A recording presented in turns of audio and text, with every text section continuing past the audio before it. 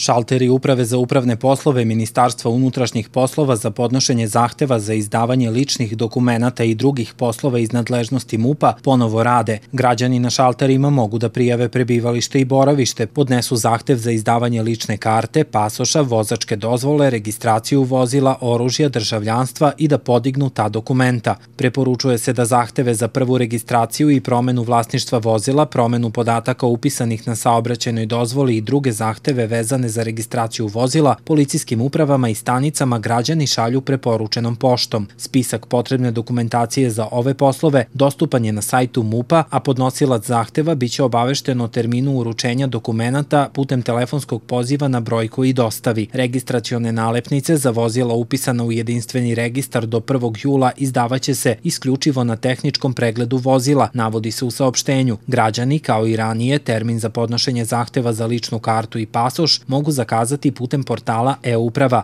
Lična dokumenta kojima je istekao rok važenja za vreme vanrednog stanja važiće do okončanja postupaka i donošenja odluka po zahtevima za izdavanje ličnih dokumenta koji budu podneti u roku od 30 dana od prestanka vanrednog stanja. Prijavu prebivališta za novorođeno dete roditelji sa skenjiranom dokumentacijom i drugim potrebnim podacima mogu podneti putem maila državljanstva lk.ocek.uup.mup.gov.rs.